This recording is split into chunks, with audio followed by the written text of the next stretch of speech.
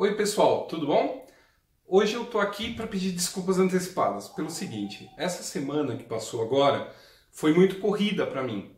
Uh, teve vários eventos por conta dos 200 anos da chegada da Leopoldina no Brasil e então eu não tive tempo de preparar um material inédito ou alguma coisa legal para contar para vocês. No lugar disso, eu vou colocar uma, uma entrevista que foi ao ar comigo na TV Novo Tempo, justamente no dia 5, no dia que completou 200 anos da chegada da Leopoldina no Brasil. Os eventos que eu participei foram muito, muito legais. Ah, na segunda-feira passada, no dia 6, 7, uma coisa assim, teve uma, um evento da, do consulado da Áustria no, em São Paulo. O evento foi no Red Bull Station, no centro da cidade. E lá eu conheci a Letícia Colim, que tá, é uma das convidadas também para o evento, era uma convidada para o evento. E aí nós conversamos, ela foi muito simpática, ela é muito simpática mesmo. E, e ela falou que foi muito legal uh, ler o meu livro, porque isso ajudou na, na, a montar, a criar o personagem da Leopoldina, da novela que acabou lá da, da TV Globo. E é outro evento, foi maravilhoso, imperdível, que, não, que perdeu no dia 8, que passou agora, na, na foi quarta-feira, a estreia do monólogo Leopoldina, Independência e Morte, no Museu do Ipiranga. Na verdade, Uh, esse monólogo é, são trechos de uma peça maior do meu amigo, o ator, diretor e escritor Marcos D'Amigo, e ele criou uma, uma, peça sobre a Leopoldina e ele fez, e, e é isso que vocês vão ver lá no Museu do Ipiranga, em São Paulo, são trechos desse do monólogo com a atriz Fabiana fazendo. É muito legal, é muito legal mesmo. É todo final de semana, tá? Às 3 horas da tarde, vai até dia 3 de dezembro. Não percam, não percam. Tem que chegar uma hora antes e pegar os ingressos no, na bilheteria do Sesc Ipiranga, na Bom, na Bom Pastor, do lado do, do Museu do Ipiranga. Aí de lá do, do Sesc, é, forma-se uma fila, tal, o pessoal se dirige até o Museu do Ipiranga, aonde é representado esse monólogo. Vocês, é, é inesquecível, é imperdível. Então, é, repetindo de novo, sábado e domingo, e agora dia 15 de novembro, no feriado, às 3 horas da tarde, até dia 3 de dezembro, tá? 3 horas da tarde, até o dia 3 de dezembro, todo final de semana e no feriado, e tem que chegar uma hora antes, ou seja, tem que retirar os ingressos às 14 horas no Sesc Ipiranga, na Bom Pastor. Tá legal? Espero que vocês gostem da entrevista que vai passar agora. Obrigado, até mais. Tudo bom, Paulo? Tudo, obrigado pelo convite. Muito novamente. obrigado por ter voltado mais uma vez aqui. É um prazer meu. Da primeira vez que você veio, você falou ah, mais sobre Dom Pedro, né? A gente estava desmistificando muitos mitos da independência do Brasil. Sim, era o momento, era setembro, né, o mês é. da independência, né? E, inclusive a gente, ah, em alguns momentos, esbarramos pela Leopoldina na nossa sim, conversa. Sim. Eu lembro que ah, uma das coisas que a gente conversou naquele período é que a Leopoldina ela teve muito mais, ela teve certeza do sim primeiro do que o Dom Pedro, né? Sim, é, é real isso. Ela era mais, uh, vamos dizer, educada na arte de governar do que ele.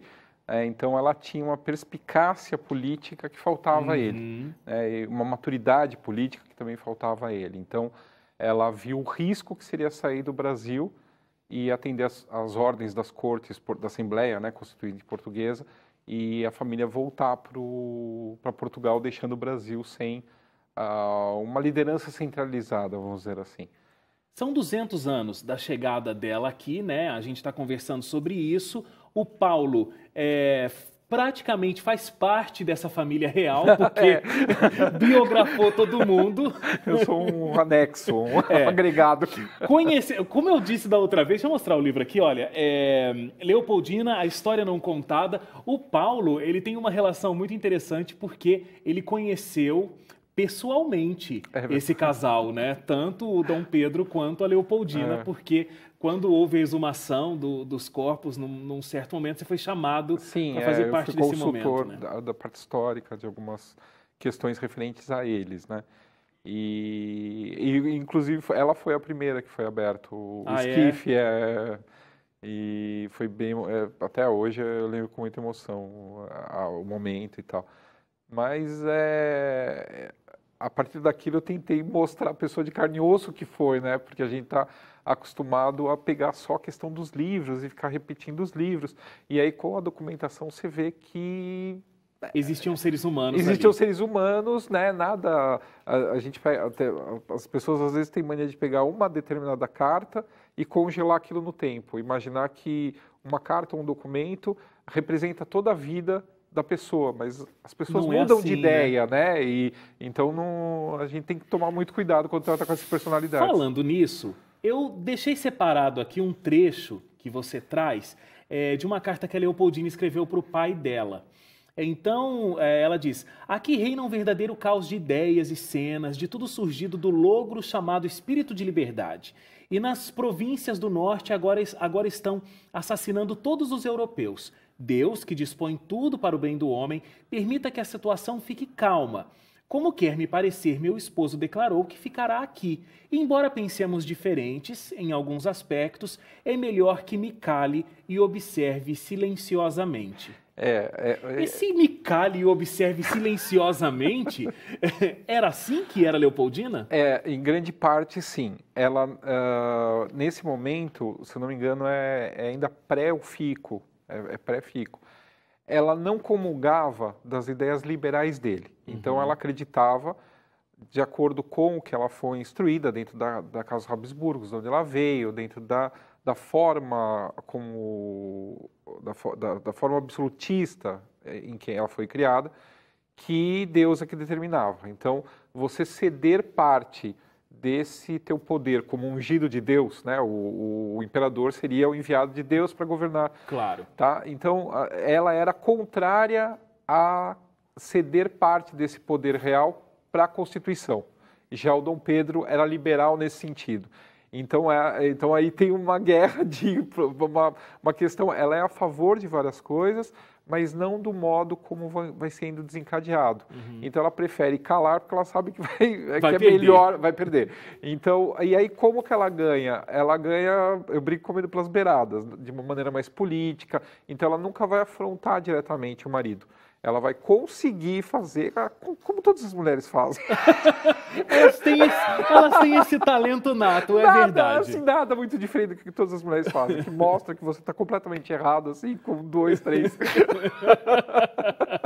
Sem afrontar diretamente, Agora, só com exemplos. É, é muito interessante isso, porque realmente mostra que, embora eles tivessem ideias muito diferentes, né? Você estava contando, Sim. ela não concordava com esse espírito é, liberal dele. liberal. Eu ia falar libertário, não, liberal, liberal. Que, que ele tinha. É, ela vem da Áustria, né? A gente vai falar um pouquinho disso, mas ah, ela conseguia ter essa dinâmica muito bem moldada com o marido, tanto que ela ficou no poder três vezes. Sim, e ela ah, administra o Brasil, né? Então ela foi a primeira não- mulher a governar o Brasil o que- efetivamente. Bom, então, primeira mulher, o que não aconteceu, inclusive, com o pai de Dom Pedro e Carlota não, Joaquina. é né? justamente isso. O que, que acontece? Ah, independente da- das opiniões divergentes do Dom Pedro e da Leopoldina, muita coisa convergia. Uhum. E essa convergência facilitava uma aliança entre eles, entre o casal.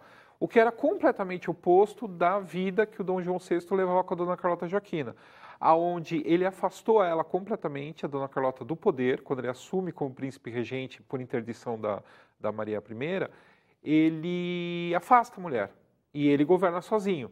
E ela vai se ressentir e vai criar uma agenda própria de poder. Vai tentar dar vários golpes de Estado no marido, nunca vai conseguir. Enfim, o Dom, e já o Dom Pedro, não. Ele, ele tem uma aliança ah, forte com a esposa. Então, como casal, eles vão governar juntos o Brasil.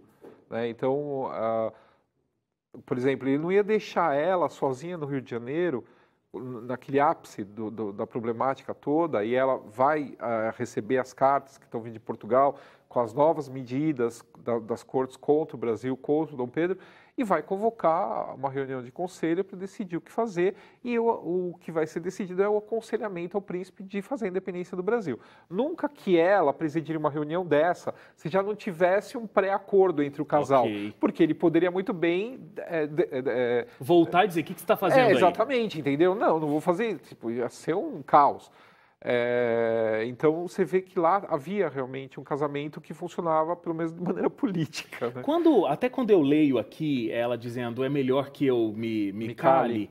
É, eu vejo que realmente é uma pessoa ponderada. Sim. O contrário, inclusive, de Dom Pedro, que a gente conversou da outra vez, ele era extremamente ansioso. Né? Ansioso, né? tanto que você, tem uma cena que quando eles voltam da Bahia, eles vão, eles vão viajar para a Bahia no começo de 26. Quando eles voltam da Bahia, ah, o Dom Pedro desembarca do navio e vai direto para a igreja, onde vai ter um TD, vai ter uma ação de graças pelo retorno da família imperial da, da Bahia ao Rio de Janeiro. Uh, ele atropela todo mundo, não quer saber, está com calor, não sei o que. Ela não, ela desembarca do navio e ela vai dando a mão a beijar, vai devagar, porque o povo quer cumprimentar, o povo quer beijar a mão dela. Então ela, ela, ela, ela tem uma consciência do, do que é ser uma imperatriz, uma, sabe assim? Mais do que ele, o imperador. Muito mais do que ele. Agora, isso é fruto da educação da que educação, ela teve. obviamente. Ela é. foi educada para ela ser foi, uma princesa. Ela foi mais do que uma princesa. Ela foi é, educada para governar. Ela teve educação para ser uma governante, o que era uma coisa é, não era comum. Ela foi tá? criada é, em volta de, uma, de um conhecimento cultural muito grande. Não ela só estudou... cultural, ela, você tem que pensar que na época determinadas matérias, vamos dizer assim, não eram matérias para mulheres. Você tem uh, o que a, a, mulher podia aprender e o que o homem ap podia aprender. Quando você vê o currículo dela, que estudou matemática, geometria, toda a parte exata não era dada à mulher e ela teve, entendeu? Então, quando eu falo uma mulher, uma pessoa apta a governar, ela teve uma educação do homem. Uhum. Ela teve a educação ampla que o homem teria. Recebia na época. É, e além disso. E que Dom Pedro, marido fala, dela, não, não recebeu não, também, não, né? Outro, é. Outra coisa completamente oposta. Tanto que ela vai instruir ele. Se você pega as primeiras cartas que ela manda para a Europa, assim que ela chega do Brasil, no Brasil, uh, você vai ver que ela, ela fala: ah, ele tem muita disposição, mas ele, ele não Tipo, ele nunca foi tutorado direito, ele nunca teve um tutor que o fizesse se interessar por. Então ela vai meio que assumir alguma uma parte da educação dele já quase adulto. Né? Então ela vai dar uma, uma, um verniz cultural para ele e também profunda em alguns aspectos, até mesmo em ensino de línguas, que ele não teve. Uhum. E mas é isso, quer dizer, ela estava muito mais preparada para governar, ela conviveu com quando você tem a queda do Napoleão na Europa, uh, tem o concerto da Europa, tem um grande congresso em Viena, onde ela morava, aonde todas as casas reinantes se reúnem para decidir o que vão fazer do mapa da Europa, deixado em caos pelo, pelo Napoleão. Né? O Napoleão ele invadiu várias, várias partes da Europa, derrubou casas reinantes, construiu outras casas e o mapa da Europa estava totalmente bagunçado. Então, ele, esse congresso se reúne para ver o que, que, vai fazer da vida. E ela convive com todo, então ela convive com o czar da Rússia diariamente isso. Ela vai ver o que está acontecendo. Ela vai ter, então depois quando ela vem para o Brasil, ela, ela futuramente ela vai ter contato com o Charles. Ela já vai, ela vai conversar com o Charles Stuart, que é o, o inglês que vem mediar o tratado de paz entre Brasil e Portugal pós-independência. Ela já tinha dançado com Charles Stuart em Viena dez anos antes. Sabe, ela já tinha uma... Era bem relacionada, Bem relacionada. Uh, e, assim, culturalmente, tem uma, tem uma, uma piada, tem uma coisa que se contava que uma vez ela tinha, ela tinha comprado é, cavalos árabes para o Dom Pedro. Hum. E os cavalos chegaram.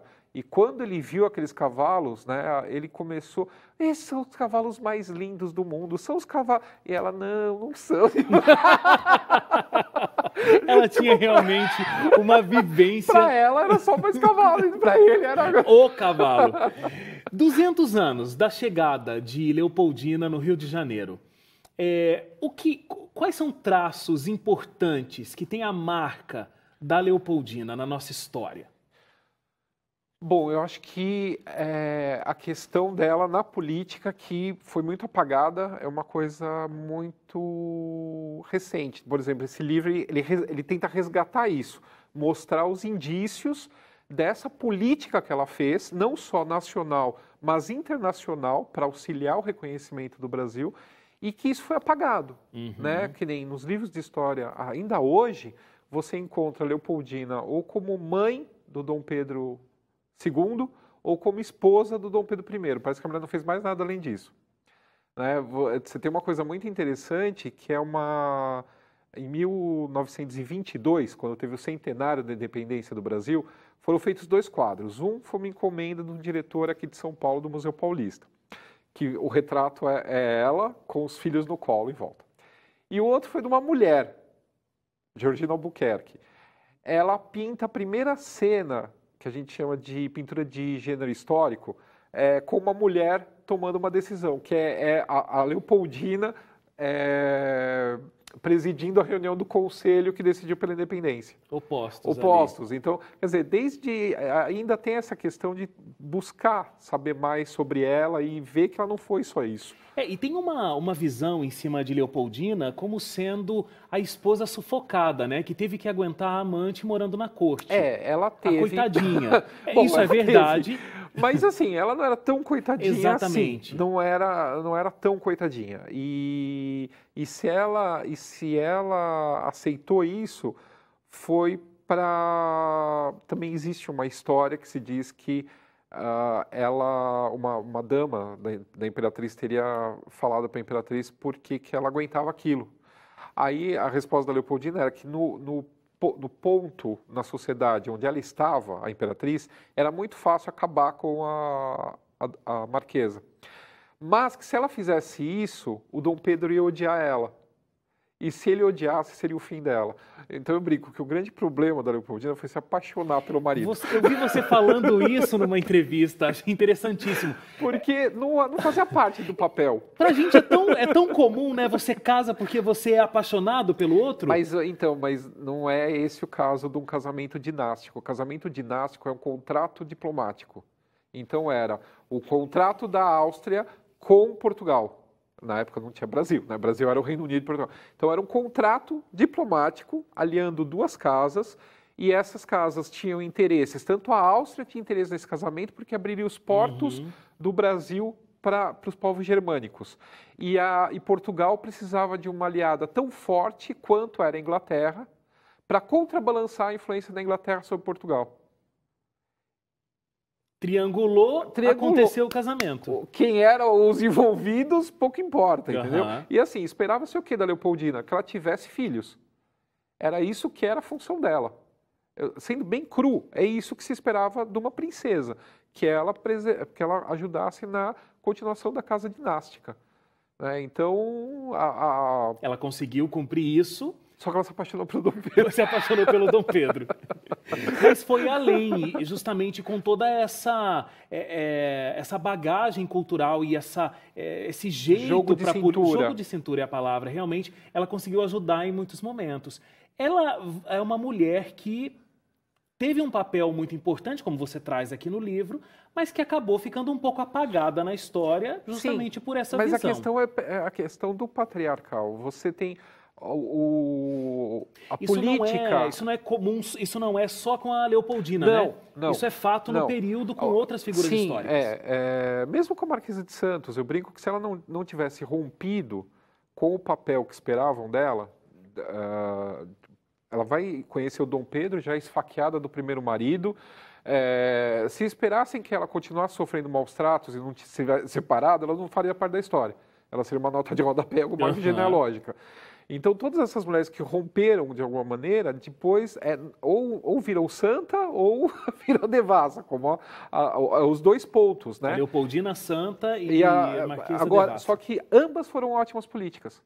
Tanto que ninguém fala do, do passado político da Domitila após ela voltar para São Paulo, banida da corte, quando acaba o relacionamento com Dom Pedro. E ninguém fala da parte política dela, porque a política é a terra dos homens ancestralmente.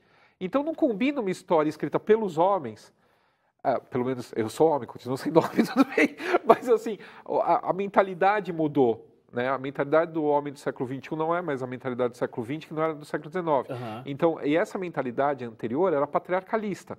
Então, a, você reduz a mulher a, a, a símbolos. Então ela é a mãe do Brasil, sabe assim? Quando na verdade foi a primeira imperatriz a, foi, a, governar. Foi a primeira mulher a governar o Brasil. Não foi a Dilma. E, não foi a Dilma.